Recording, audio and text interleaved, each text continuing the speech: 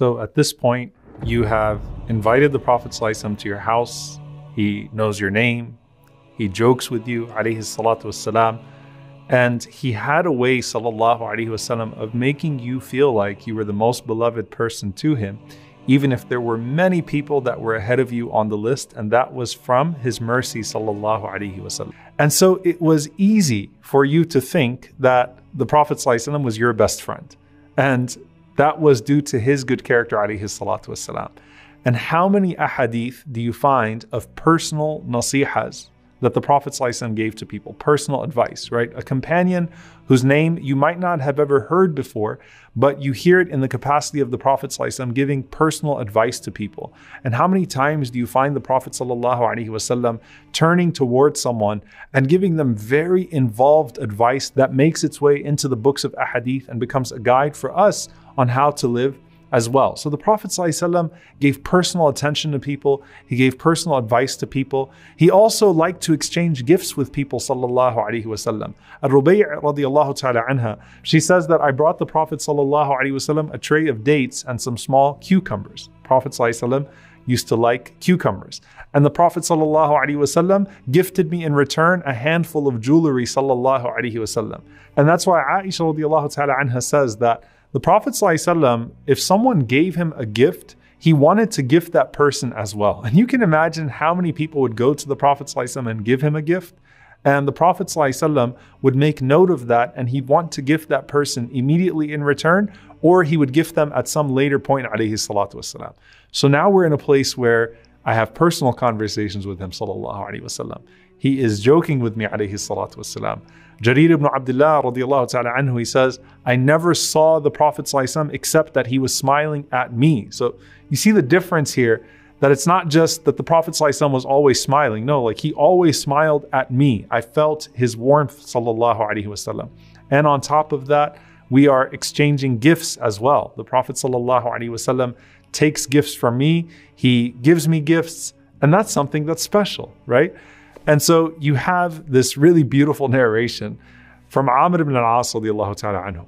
The same Amr radiallahu ta'ala anhu who waged war on the Prophet for all of those years, who tried to take back the refugees in Habasha and Abyssinia, convince Najashi to give them up, who persecuted the Prophet in Mecca, who fought against the Prophet in numerous battles, who in Uhud was actually one of the main engineers of that plot in Uhud that led to the deaths of many people. But he embraced Islam and he became a beloved companion of the Prophet ﷺ. And you imagine that the Prophet ﷺ treated him in such a way that he thought that he might now be the best friend of the Prophet ﷺ.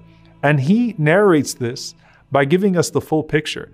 He says that the Prophet ﷺ, he used to speak to and show love and affection to ashar al qawm, to the worst person of a people, to where they would think they are ashraf al qawm. They would think they're the best people, right? Because the Prophet ﷺ gave them so much love and attention.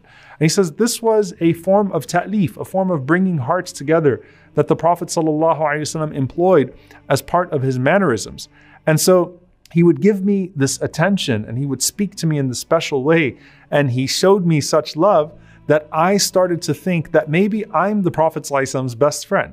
So one day I went to the Prophet ﷺ, and another hadith, by the way, he explains that the Prophet ﷺ, you know, put him at the head of an army. So this is serious now, right? Like I'm up there with the rest of them.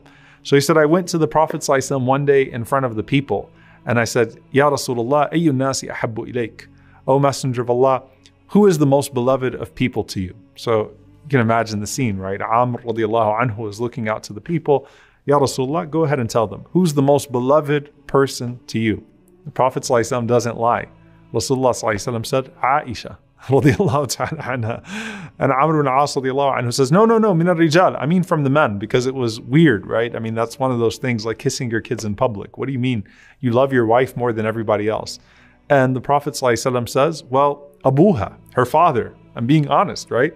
And he didn't say Abu Bakr radiallahu ta'ala anhu, he said Abuha, her father, who of course is Abu Bakr. But it's like the Prophet ﷺ is still connecting the love that he has for Abu Bakr to the love he has for Aisha. So I love Aisha, and then you ask me from who from the men? Well, it's Abu Bakr. And then he says, okay, then who? Because it's understood, right? You know, Prophet ﷺ and Abu Bakr radiallahu anhu. Abu Bakr was the first uh, from the men to embrace Islam, the best friend of the Prophet ﷺ. Okay, that makes sense. Then who, Ya Rasulullah? He said, Umar radiallahu ta'ala anhu. And Amr al-As radiallahu anhu says, okay, fine, you know, the, the two sheikhs, it was known, right? The Prophet ﷺ used to say, I, Abu Bakr and Umar all the time. I, Abu Bakr and Umar did this. I, Abu Bakr and Umar saw this. I, Abu Bakr and Umar agree with this. So he said, fine, who else after Umar? Who's next? So the Prophet ﷺ said, Uthman. So he said, I didn't want to ask the Prophet ﷺ anything else. and I felt horrible for even asking him because I was afraid he'd never mention my name, sallallahu alaihi wasallam. Now, of course, the Prophet sallallahu did not want to make him feel that way. But the point was, is that the Prophet had made him feel such a way that he felt like he could ask the Prophet ﷺ that question and he would be his best friend. He would be the most beloved person in the world to him. And can you imagine how many people that did not used to assign value to themselves, that did not used to think highly of themselves, that did not think they had access to anyone, that the Prophet ﷺ made feel like they were the most beloved and most important people to him in the world ﷺ, as he certainly was to them.